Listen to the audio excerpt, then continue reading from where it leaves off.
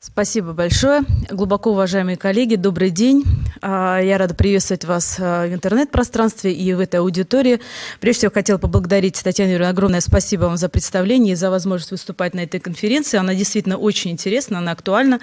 А, Ее все смотрят.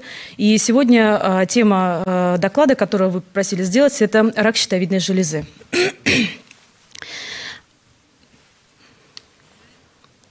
Немного хотелось бы сказать о заболеваемости и смертности, поскольку это действительно тема очень актуальная. Обращаясь а, к статистике, мы видим, что по заболеваемости и смертности а, пациенты очень редко действительно умирают именно от рака щитовидной железы. В большей степени пациенты погибают от сопутствующей патологии, либо от воздействия и расположения самой опухоли вблизи жизненно важных органов.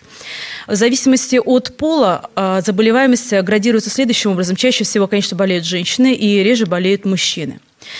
По заболеваемости, как видите, если представлены а, страны, а, представлена в США, например, а, говорит о том, что рост заболеваемости, он превышен, и в большей степени, конечно, кажется, что появилось больше рака щитовидной железы, но в целом, если анализировать и детализировать действительно выявляемость, мы понимаем, что рак щитовидной железы стал больше, поскольку здесь имеется большое продвижение, и в перспективе также в будущем это есть э, задатки на то, что появится новая аппаратура, выявляемость, и это основной, э, основная проблема, основная, в общем-то, не, не, даже не проблема, а счастье для того, чтобы нам понимать, что мы не пропустим злокачественное образование посредством определенной техники. УЗИ-техника – это сонография, которая является, на самом деле, достаточно простым методом для определения, э, определения опухоли злокачественного роста в щитовидной железе.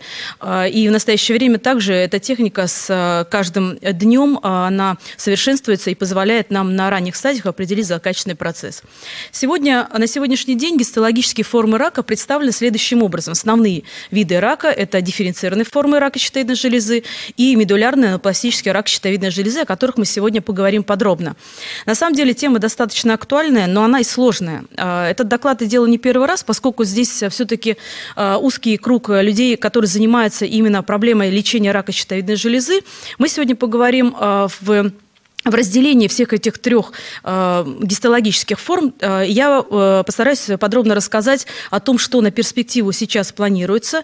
И из этих раков в большей степени, конечно же, уделяется э, внимание дифференцированному раку, поскольку он э, наиболее доброкачественный, бывает больше, чем э, тот же самый анапластический рак. И в лекарственной э, терапии также достижений, конечно, больше в лечении дифференцированного рака щитовидной железы. Если можно так сказать, поскольку у нас немного также препаратов при лечении этого вида вида гистологической формы рака. А, что мы видим? Мы видим первичного пациента, который приходит на а, смотр, и мы выявляем у него злокачественный процесс. А, пациенту предлагается основной метод лечения при раке щитовидной железы – это хирургическое вмешательство. Далее пациент планируется на лечение радиоактивным йодом, если есть показания для этого. И в основе лежит, конечно, гормоносупрессивная терапия. Опять же, это лекарственная терапия, о которой тоже необходимо не забывать, поскольку супрессивная доза назначаемая пациенту в первый год э, после э, хирургического вмешательства является и основным моментом, ключевым моментом в лечении этих пациентов. Очень важно понимать, и это написано в клинических рекомендациях на сайте Минздрава Российской Федерации, о том, что вести этих пациентов, э, обращая внимание, не только оперировать, но еще и вести в послеоперационном периоде должен человек, врач, который обладает достаточным набором, во-первых, инструментальной техники, а во-вторых, понимания и знаний, поскольку невозможно, пролечив пациента, сделав хирургическое вмешательство, отдать пациента эндокринологу, который находится э, э, на участке по месту жительства, и э, на него мы, его мы обрекаем на то, что какие-то моменты он может все-таки пропустить, поскольку не всегда у него на участке может быть пациент, который находится в динамическом наблюдении. Что, мы же, что же мы видим дальше? Пациент при появлении метастазирования или рецидива болезни, ему показано, опять же, хирургическое вмешательство. Ну и по показаниям, как вы видите, радиотерапия в зависимости от группы риска. Групп риска тоже три группы, о которых я не буду сегодня говорить, поскольку это очень большой будет объем. А, но скажу вкратце, это относительно этих рисков определяется тактика ведения этих пациентов.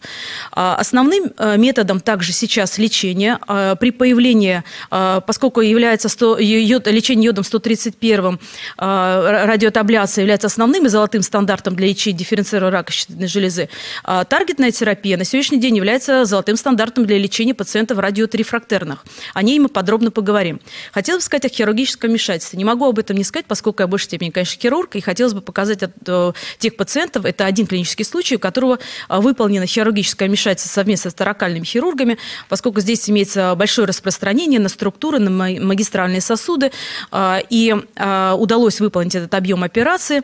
В общем-то, вы видите, какой объем, и выполнение резекции, удаления органокомплекса на шее восполнение дефекта посредством э, перемещения э, желудочного трансплантанта в область шеи. Как видите, это актуальная тема, в общем-то, о которой мы сегодня тоже не зря об этом говорим. Какова же тактика лечения ведения рецидивов? Как видите, мы в основу всегда ставим количество гормонов. А, почему очень важно выполнять плановое и правильное хирургическое вмешательство в плановом а, режиме и в правильном объеме? Потому что потом нам необходимо, а, чтобы мы понимали, что онкомаркеры будут работать у этих пациентов. Как видите, представлена на слайде тактика ведения этих пациентов.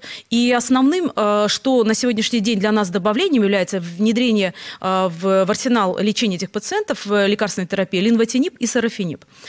Основной целью радиоактивного лечения является а, выявление отдаленных метастазов а, и лечение отдаленных метастазов, а, выявление рецидива, но тут опять же вступают э, гормоны щитовидной железы, относительно которых мы отталкиваемся, и понимаем, что у нас на сегодняшний день с пациентом происходит. Адювантное лечение скрытых метастазов – это, конечно, очень большая когорта пациентов, у которых также бывает по онкомаркерам мы определяем, что все-таки есть биохимический рецидив.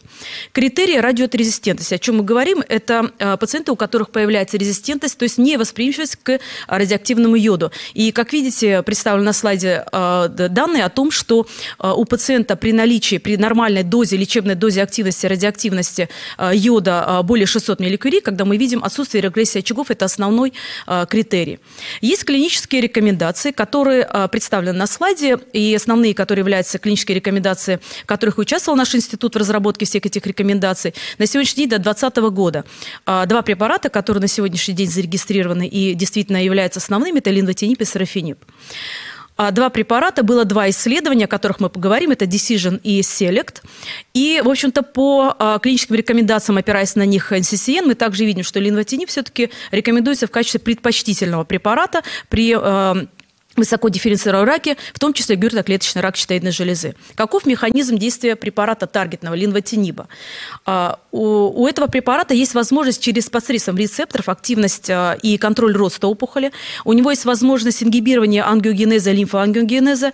И, в общем-то, он а, обладает ингибированием микроокружения опухоли. Соответственно, а, на данном слайде представлена медиана выживаемости без прогрессирования. При а, препарате, при введении препарата ленвотинип она превысила полтора года, что действительно, согласитесь, очень хороший результат для этой когорты пациентов. Выживаемость без прогрессирования в сравнении двух исследований Decision и Select, как видите, а, они сопоставимы на самом деле. Сарафинип обладает 10 и 8 месяцев в сравнении с группой плацебо. И вторая группа во втором исследовании – это линвотинип и плацебо у линвотиниба в группе у когорты этих пациентов 18 18,3 месяца. Если сравнивать э, по этим двум э, исследованиям, как видите, мы понимаем, что частичный регресс тоже все-таки в группе ленвотиниба э, преобладает, хотя и не в таком большом количестве. Ленвотиниб, если говорить о нем, демонстрирует более продолжительность выживаемость без прогрессирования, это 33 месяца. На самом деле, на сегодняшний день частота объективного ответа составляет более 60%, и полный ответ у нас составляет около 2%.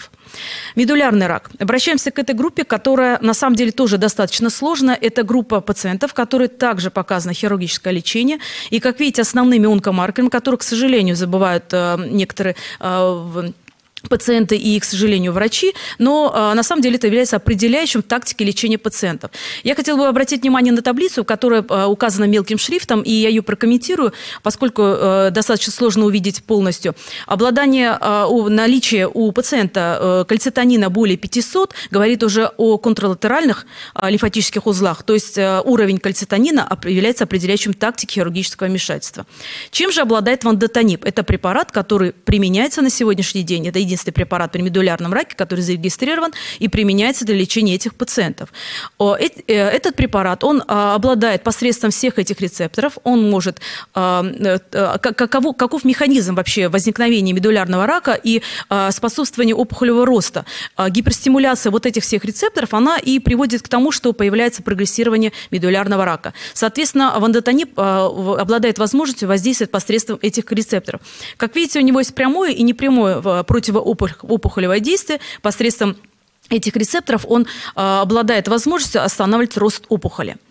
А, исследование Зета, о котором тоже хотелось бы немножко сказать, а, говорит о том, что на самом деле на сегодняшний день медулярный рак – это а, проблема действительно очень серьезная, и когорта пациентов составила более 300 человек. И, как видите, достоверно вандотонип увеличивает выживаемость без прогрессирования.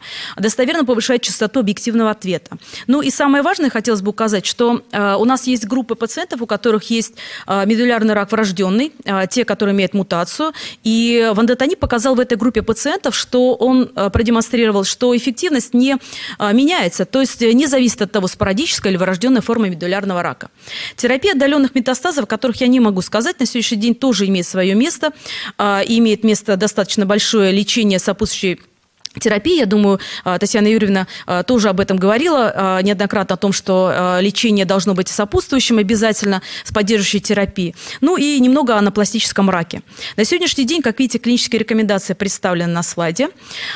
И мы видим, что основной метод лечения, как и другие предыдущие, о чем я говорила, это хирургическое лечение. Как видите, к сожалению, радикальность э, лечения мы достигнуть путем хирургического вмешательства не можем. Не существует таких способов. И и вот тот арсенал, который представлен э, на слайде химиопрепаратов, он достаточно скуден, и, к сожалению, он не обладает э, хорошей эффективностью. Одно из исследований, которое показывает, что включена группа 17 человек, и, как видите, э, частичный ответ, который был получен, на самом деле э, не очень много, но 12 человек, а полный эффект был получен у 4 пациентов. Еще одно исследование, которое говорит о том, что как у нас пациенты с медулярным раком были соединены 83 человека в одну группу. Критерии справа представлены это группа из 60 лет и более. А, включены были и мужчины, и женщины. Но, как видите, у э, пациентов в этой когорте первый год жизни был достигнут только 33% пациентов. И второй год 23%. То есть очень невысокая выживаемость у этих пациентов. Ну и, как видите, представлены у нас на графиках э, факторы, которые влияют на безрецидивную, безрецидивную выживаемость. Конечно же, хотела бы сказать о том, что основным тоже является то, э, лечение, когда имеется мультимодальный подход, когда у пациента имеется R0 резекция. К сожалению, это не всегда можно достигнуть. Еще одно интересное исследование – это сарафинип. Во второй фазе исследования, как видите, анапластический рак, который представлены, пациенты, которые представлены на этом слайде. А, мы видим, что а, вероятность выживания при анапластическом раке была оценена, и общее выживание составило 4 месяца. Как видите, это очень мало. Вот география исследований, которые проводятся на сегодняшний день а, в разных в ряде стран. И, как видите, в США 43 исследования по анапластическому раку. Ну, как видите, в России не очень много, на самом деле, проходит исследований по лечению и вообще по анапластическому раку. Хотел бы сказать о PDL и PDL-1. PDL-1 и э, значит, PDL о том, что а, сегодня очень тщательно подбираются препараты, они представлены на слайде. Эти исследования, которые выполнены, э, результаты еще не представлены, но сегодняшний день они представлены вот таким образом. Группа препаратов, которые все-таки используются для лечения а, этих а, пациентов. Еще одно исследование, оно достаточно интересное, и на, на перспективу, наверное, все-таки будущее стоит за онковакцинами. Это без, исследование безопасности первой фазы. Как видите, здесь также использованы и онковакцины, вакцины, и где-то добавлены еще препараты PDL. А, трамитинип и поклитоксел – еще одно исследование. А, это препарат, эти препараты, которые используются в лечении. А, также исследования, которые сегодняшний день еще результаты не опубликованы, но предварительно есть эффект от проведения лечения. Пембролизумаб. Как видите, действительно очень интересный препараты, также а, идет набор, но, к сожалению, а, как видите, у нас результатов нет. Еще одно исследование, тоже достаточно интересное, это а, использование вакцины. Внесено 24 пациента, ну и в целом э, мы видим, что эта группа пациентов действительно набирается, она небольшая, потому что немного, на самом деле, пациентов с анапластическим раком, которых мы видим.